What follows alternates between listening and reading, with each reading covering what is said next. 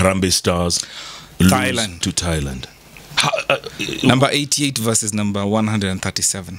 We can only expect one thing a drop in the rankings. So I'm expecting Rambe Stars to be ranked maybe below number 100 when uh, the rankings come out, maybe in the next one week. were we playing football or badminton? Thailand after losing to Iraq. Yes, Thailand. 137.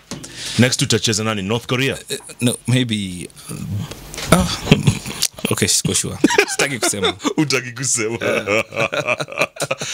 John, South Africa beat Burkina Faso, It's true. so they could still qualify or they out? They could still qualify because they have to play against Senegal. The they're supposed to play against Senegal.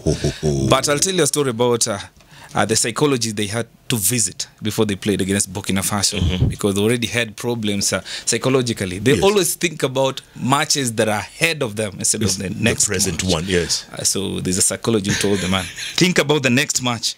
Forget about the coming matches against Senegal and what. Think about the next match. You will win and you will qualify. So we'll talk about that in, in the next time. Nice. Okay, John. Thanks as always. Nashukuru. The Hot Breakfast with Jeff and Jelano.